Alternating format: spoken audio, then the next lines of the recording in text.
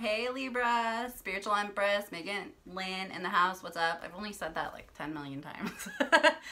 I don't know. I'm kind of like flustered today. I have no idea why. But I wanted to do, as per request, a Libra July 2019 tarot reading because somebody who's a Libra, holla at my Libras on the channel. This is predominantly an Aquarius channel, so if you are another sign and you would like readings or clarifications or things like that, y'all gotta speak up.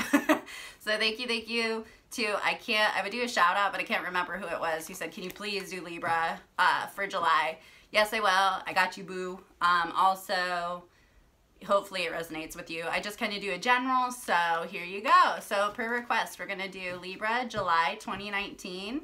Libra's had a lot of really interesting like relationshipy energy. I don't know if it's like they have a lot of secret admirers or things like that. It seems like a lot of it's more around the romance kind of thing. So we'll see what comes out for Libra for July 2019. Thank you for all the comments, likes, shares, subscribes, everything. I really, really appreciate it, guys. But all right, let's get into it. Let's do Libra. Don't know why I'm cutting the cards like this. But Libra, Libra. I don't have a lot of Libra friends. But y'all are air signs, your air fam. Ooh, you got the Empress. This is my favorite freaking card, you guys. you have the Empress, the King of Pentacles the Queen of Swords. You guys have a whole freaking suit here. The Sun, the World in reverse, the Seven of Swords, the High Priestess, the Queen of Wands in reverse. You guys have a lot of freaking royalty here. Temperance card, and the Ten of Swords as your clarifying energy. is Ten of Swords in reverse. That's okay. Um, the Empress. Hello. This is very strange because I definitely get some sort of vibe that this is two people here. Or it could be also another person is just around your guys' energy. Um, you guys are the Empress. So this is a price to be won, darling. so this is Libra's overall energy right now, I feel, is the Empress. Uh, the Empress pretty much has her shit together. She does not have to worry about... That's the thing with Libras. Libras can be very analytical, just like as all air signs can, but a Libra can, when it comes to romance, can be really confusing. This Empress knows what she wants. She knows what she's worth. She knows, you know, what the characteristics of a proper suitor are. So this Empress here is very nurturing as well. It looks like, too, you have some other people in her energy who have kind of seen that value, too. Um, it could be a, so I'll put the Empress here because you guys are definitely an Empress right now. Um, you guys also may have, may work with children. I, I don't know why I'm saying that. You guys may work with children. Uh, but you guys may, um, like I said, the Empress is very like nurturing. She's very fruitful. Um, she's very abundant. So you guys um, probably have your shit together right now. It's kind of like when you are, you know, you're on your grind, you're on your hustle, and it's very hard for anybody to even approach you. It looks like you may have somebody, as far as the finances go, it looks like you guys are okay. It looks like you're handling the finances pretty well, or either that or you're taking care of it.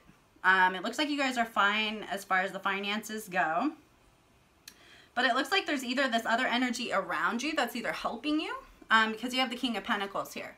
So it could be another person. Uh, with an Empress or a Queen, you always need a King. You can't have a Page or a Knights or the Fool.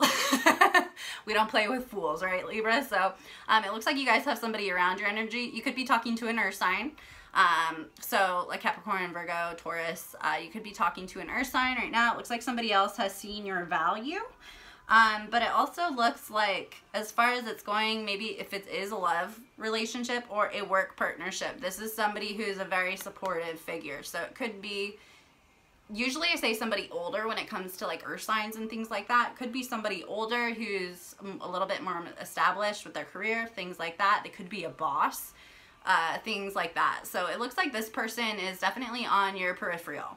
So this is somebody who has maybe posed interest or you guys have been taking glances at each other, something like that. It looks like a possible earth sign here, but this is somebody who has um, they are all that in a bag of chips, um, as are you, but it looks like the person that you've either met or is surrounding you is put together. Um, or aspires to be. But the King of Pentacles is super, super. I, I personally always love a King of Pentacles around me.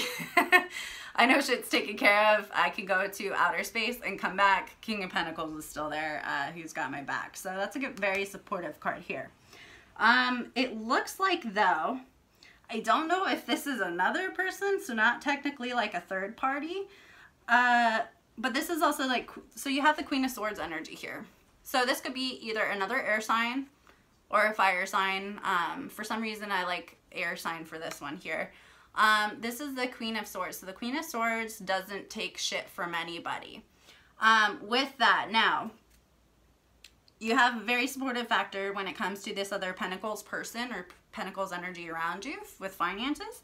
However, um, it's allowing you to be very critical with who you select um, or opportunities that you select um, because you have that success here. So if you decide to go with this person, it looks like only good things here. Also be careful because what I find with Libras is it can actually be very judgmental, you know, no hate there. They can be judgmental, they can be very critical of others. Um, and it's actually, it's really, really funny because all the Libras I've ever met have been very, um, you know, quote unquote open-minded, but very judgmental when it comes to others' decisions and not so much with their own. So just be careful with the Queen of Swords energy. It is very supportive though. The Queen of Swords gets shit done you could be acting that way with this person though.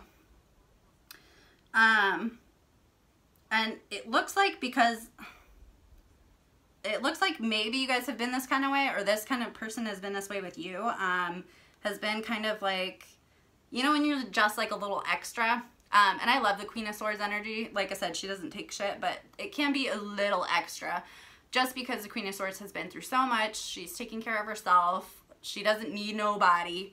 The Queen of Swords also can be very cutting in nature, so it looks like either you or the other person could have been that way towards each other.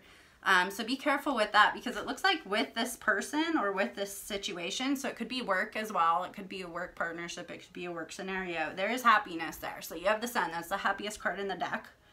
It looks like this would actually be very, very supportive of happiness, um, something very... Um, something bountiful, something that's long lasting, long term, long term happiness is with the sun. So you could also be dealing, dealing with a Leo. I only say that because major arcana card could be dealing with a Leo as well. You saw this person as being, uh, this person is a solution, not a solution in a way. It's more, this is, this is like ultimate happiness. So this could, again, be even another person. It looks like you guys may have like many people you're just starting to deal with here. I can't tell if it's more the swords or the sun. Um, so it looks like, it almost looks like somebody had some, either they, they passed some cutting words or something kind of went down. Um, you either recognize that this could be good, they recognize that this could be good, or this is another person that's also involved as well. Um, and it looks like something, something happened because this is the world in reverse. So with the world in reverse here, this is something that somebody saw as being, like I said, something very long-term, something lasting, something secure and stable. Um, you know, something that could go to the distance as far as whatever, if it was work or a, love relationship, something like that. It looks like with this in reverse, uh, somebody saw this situation as in essence their world um, that is in the reverse so something happened there to where this is not manifested yet or because of either some sort of cutting nature here or there's just too much um, bravado something happened and uh, there's kind of like a bit of a loss there so either you're not getting what you want or they feel like they're not or um, maybe you guys really want to manifest something here and because of this kind of I mean these are big personalities here because of that there's a little bit of a clash and this kind of happened and you can see here you do have the Seven of Swords. Seven of Swords is just being exhausted. So like I said, if this was um, words were exchanged, uh, not niceties happened. This is the Seven of Swords here. Uh, that cat is super, super freaking exhausted. Uh, this cat is tired of watching its back and not only tired, it can't do it anymore. It's just, um, it's kind of like when you're in a relationship or you're at work and you just always have to explain yourself instead of somebody just trusting you maybe. Um, you always have to explain yourself. You always have to, you know, have reasons for doing certain things or somebody can't just take your word for it on things. That's kind of this. And because of that, it's draining. So it has been very draining. So either you or somebody else drained you. Um, and this is simply just being tired of um, defending yourself. Um, just being kind of worn out. So, and it looks like here, um, the High Priestess, this is a, has to do a lot with experience. Uh, so there should be some inner knowing about, there should be some like clarity about it. This is a very psychic card. The Priestess is one of my favorite, favorite cards. It's very psychic. Um, she has kind of just a knowingness of certain scenarios, kind of how they play out. You can kind of see the train, you know, coming to a collision a mile away and you just can kind of watch it unfold because you know it's going to happen because you're the priestess. Um, it kind of looks like either you knew this would happen or somebody else did, um, but there's also an inner know knowing about some sort of connection here. Um, and it has a lot to do with experience. When you have a lot of experience with relationships or with um, work scenarios that are very similar, you can already kind of read how they're going to go down. And it looks like that's uh, even having that inner knowing here, or maybe they do, it looks like there may be a lack of communication here. Um, so Queen of Wands in reverse is not effectively communicating. So whether this is you or them, because of whatever this little like falling out here is, you, you may still, it's kind of like when you still know something, but like nobody's making the move to do it. That's kind of this little combo here. It's just like, I know I was wrong or, you know, I know that this is really supposed to, could really be something fruitful, but you know, I'm still not going to communicate or when I do communicate, even though I go in with the intention of wanting it to be very cordial or things like that, it gets very immature and things like that. So that's kind of what it looks like is going on here. Um, but you guys know, whether that's both of you or, um, or all three of you, there's like a lot, either a lot of, like a couple people or something because this is a lot of energy. And then this, uh, so you guys have the your overall clarifying energy is temperance. Uh, yeah, you'll kind of hate me for this one. This is very, uh, this is a very gracious energy. This is a very, um, it's patience. It's honestly, it's patience. Also, it's taking care in how you say things, how you communicate things, being patient, and also sometimes it has to do with taking time. So if you know, and I know Libras, like usually Libras typically don't like to argue or don't like things uh, to last or kind of drag on. I can say if you guys are dealing with either like a Leo or, you know, some fire sign or like an earth sign, earth signs will tend to drag things on. Um, they kind of can harbor things sometimes depending on, you know, how high the earth influence is. But it looks like you guys um, just need to be patient here. Understand that uh, things don't get fixed overnight. Uh, also, if you do go to communicate, don't expect to fix things right the second or you want it better right the second. Um, it looks like it's going to work out. Um, but as far as the moving forward card, you have the Ten of Swords in reverse. Um, just, yeah, this has to do a lot with uh, releasing conflict. It looks like also, too, this could be hanging on to things. So if somebody is hanging on to words that were said freaking forever ago, or um, something that happened in the past and they're just kind of hanging on to it not kind of letting that cycle end and starting something new. Libras typically are pretty good about that. They're pretty good about, some of them are, pretty good about, uh, you know, let's just move forward from this you know, we can be better moving forward. Uh, other signs aren't always like that. I can say fire signs aren't like that. They typically will hang on to things forever if they have high fire influence. Also, earth signs can kind of be stubborn about stuff like that. So um, this has to do with uh, you letting go and somebody else letting go. And that the fact that this hasn't been moving forward is because of this. Sometimes that just takes time and waiting. So if you guys aren't interested in love, because I can say Looks like love. There's a lot of little powerhouses in here. I really like it. Yeah, so in love, uh, this is kind of um, gathering things, kind of starting to get ideas together for how to either start over or build a new foundation. You have the Three of Pentacles here. So um, it looks like uh, moving forward, I mean, this is kind of either what you would need or they would need is to try to kind of it's kind of like when you say, hey, let's wipe the slate clean and start new. That's kind of what this is here. That's kind of getting ideas together, um, you know, what you can do kind of moving forward to set a, a good um, foundation for next time. So very, very good, Libra. Feel very good for you guys. Um, and again, this kind of bullshit, like that's that's all it kind of is. um, and honestly, a lot of uh, you know trouble we get ourselves into doesn't really have to be um, trouble at all. We just kind of make it that way. So if you can get out of your head a little bit, that should help.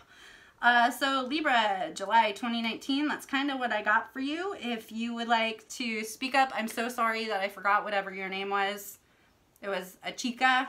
I forgot. Uh, if you would like any clarification on that, please just drop comments, likes, comment, share it. I hope it resonated with you. This is just a general reading. Uh, but yeah, thank you, thank you for all the comments, likes, shares, subscribes, guys. If you are some other sign other than Aquarius and you would like to call me out and you would like a reading, feel free, just drop a comment. I am more than happy to do those, but like I said, this channel is by request only, uh, pretty much for Aquarians. so, uh, but you guys also create it too. So, uh, thank you, thank you so much, guys, and we'll talk soon.